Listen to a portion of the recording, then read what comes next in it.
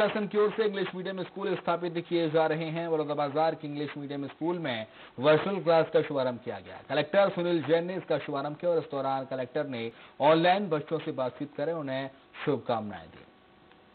हमारी नौवीं और ग्यारहवीं की वर्चुअल क्लासेस शुरू हुई है आज से। इसमें नौवीं में सत्ताईस बच्चे हैं जो पार्टिसिपेट कर रहे हैं और सत्ताईस मतलब दर्ज हुए हैं। और एलेवंथ में चौदह बच्चे हैं जो पार्टिसिपेट कर रहे हैं। इसमें मेरा सभी पेरेंट्स से आग्रह है कि वो स्वयं भी निगरानी रखें पढ़ाई की स्तर के बारे में और जो भी उनका फीडबैक है वो हमको उपलब्ध कराएँ ताकि हम इसको और बेहतर तरीके से कर सकें। हमारे यहाँ कुछ नए टीचर्स की भर्ती भी करने जा रहे हैं जिसके विज्ञापन जारी हो चुके हैं। जैसे उसकी अवधि